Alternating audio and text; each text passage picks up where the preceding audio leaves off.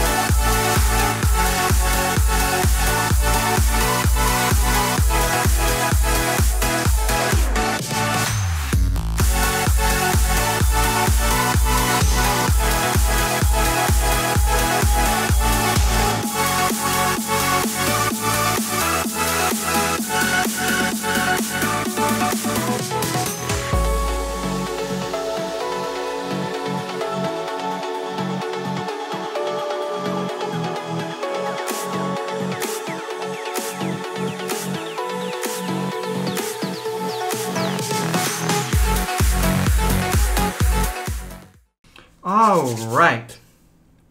So, got a little bit of black and grays. I actually think they turned out super good. Um, you can see they were rendered by hand. There's like a lot of like uneven lines and waviness, but the black really like helps them stand out. Um, yeah, I was very, very, very happy with these ones uh, compared to the eyes on the backside, which are eyes, and I can't handle. Um, but that's with the time lapse. I hope you guys did enjoy.